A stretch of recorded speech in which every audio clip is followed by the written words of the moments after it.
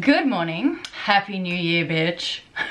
Welcome back. It's been a minute, but as they say, absence makes the heart grow fonder. I hope you all had a great holiday season and a great New Year's. Amazing. Okay, I wanted to kick this year off with a book haul, just something like fun and different.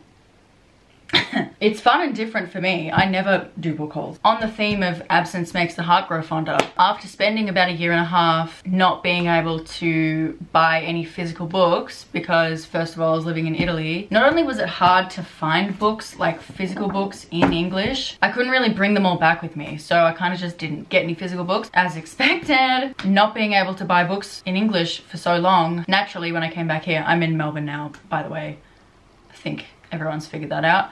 I've been here for a year. I just started buying, I was like, you know what? Add to cart, bitch. Anyway, so I wanted to share all the books that I've bought over the past year, which actually, when you look at this in the span of like, this is everything I bought in a year, it's actually not that much. It's a lot for me. I'm not really like a book haul queen. I'm actually kind of like a doesn't read queen, so doesn't need to buy that many books queen. I guess we'll start with the ones that I actually did get overseas.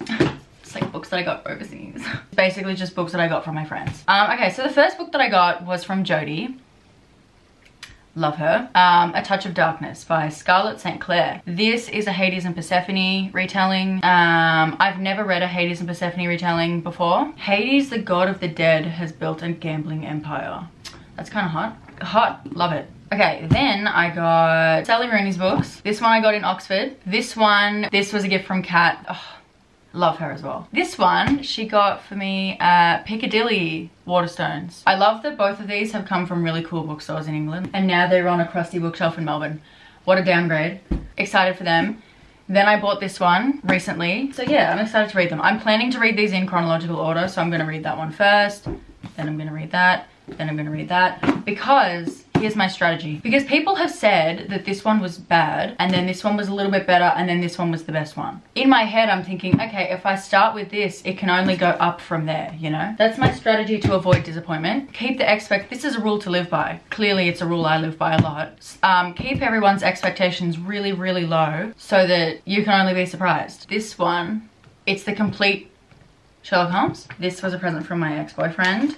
It's just fucking beautiful. I want to collect like multiples of these leather bound classics. Anyway, yeah, that's, love that one. Excited. Okay. And then I got this from my friend Tazmyn. Oh, love you Tazmyn. Look how cool. It's so old.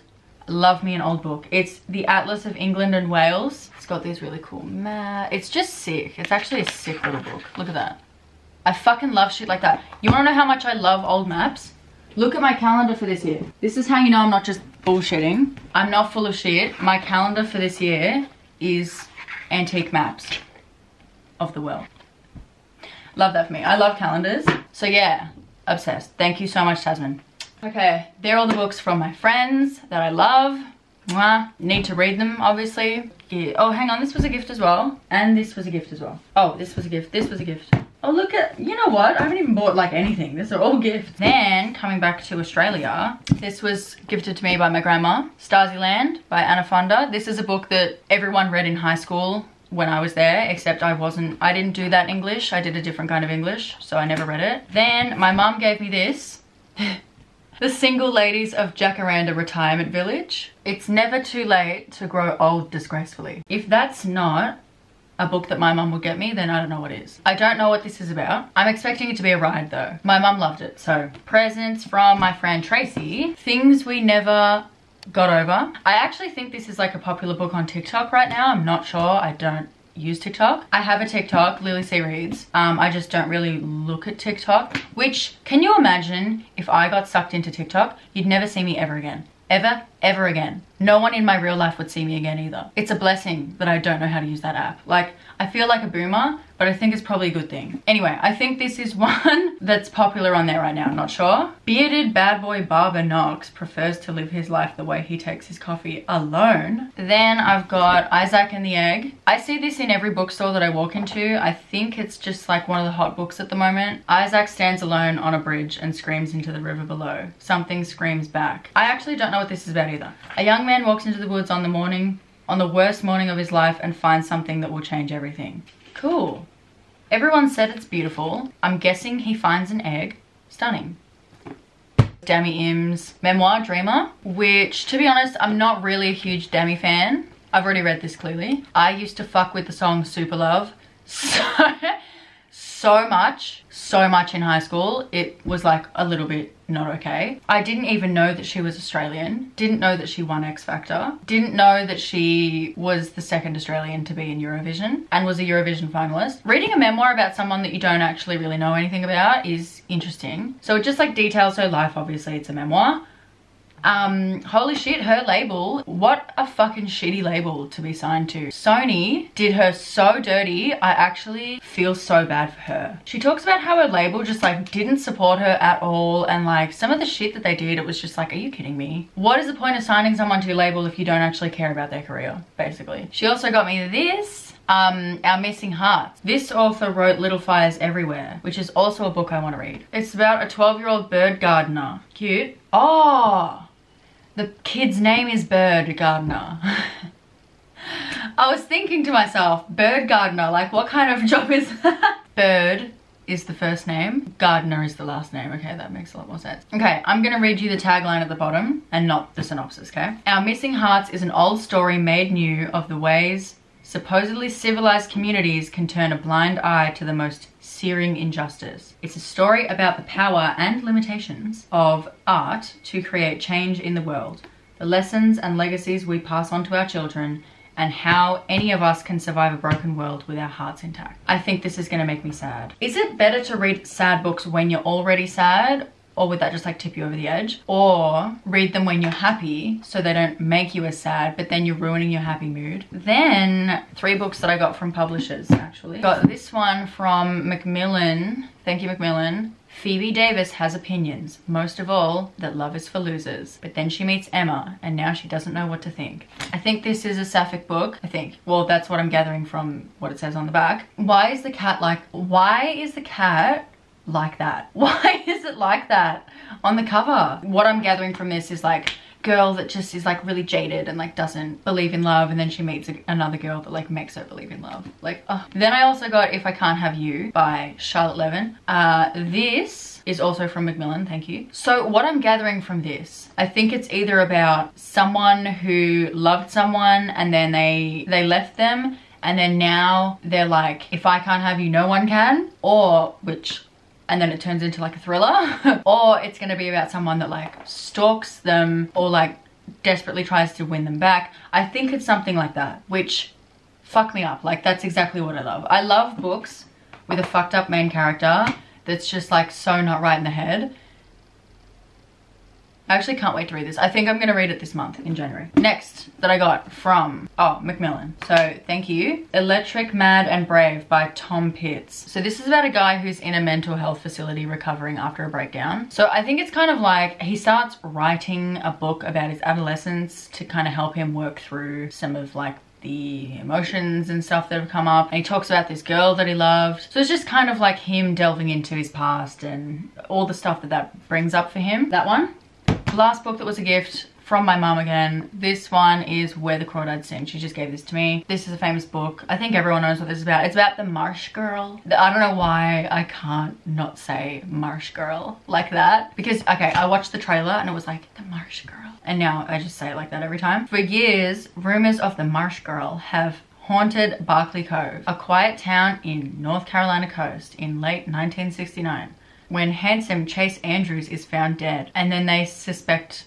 Kya Clark, the so-called Marsh girl. But Kya, Kya is not what they say. Okay, so I think it's like the Marsh girl gets pinned for a murder that she might not have committed and then she lives in a marsh. Everyone said it's amazing, so anyway, excited to read that. Don't really know much about it to be honest. I just know that it's been seen everywhere. It's turned into a movie now. Everyone seems to love it, I guess. Can't wait to read that. Next book that I found on the street, not even kidding. Mao's Last Dancer. I think everyone knows about this book. It's super famous. It's like one of those books that's been famous for years, years and years. And it's about this boy who was born in poverty in China. I think this is like kind of a non-fiction. Okay, then I have Six of Crows and Crooked Kingdom by Leigh Bardugo. I've already read this one actually, but I read it on my Kindle and I wanted to have a physical version of it. Um, and I also want to reread it before I read this because I want to like go through and mark it up and tab things and stuff. Um, and then I obviously have the sequel. I need to read this one, still haven't read it.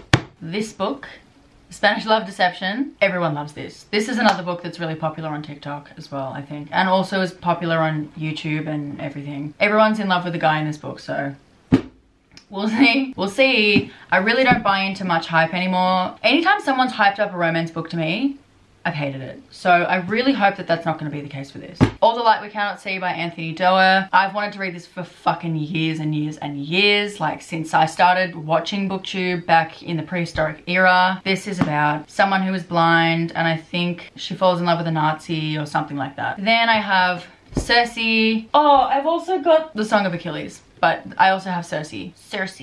Really excited to read that one too. Then I have Eleanor Oliphant is Completely Fine. This one, to be honest, I don't think anyone in the book community on here online has talked about this to be honest but it's a book that I see every fucking time I go into a bookstore for the past like five years this book has been on like the front display. I'm like, is anyone actually reading it and loving it? And like, what, what's the deal? What's the deal with this book? I just wanted to find out. It's about a girl who lives a boring life. She just has a very like timetabled, does everything exactly the same and she's apparently happy with it. Don't know where that's gonna go. But hopefully something fucked happens and it's like, oh yeah, everyone thinks she's this boring lady but she's actually like a serial killer. I just wanna know what, what this book's deal is. Then I have The Seven Husbands of Evelyn Hugo. Everybody loves this book and I'm sick of not knowing. I'm sick of not having read it. Reclusive Hollywood movie icon Evelyn Hugo is finally ready to tell the truth about her glamorous and scandalous life.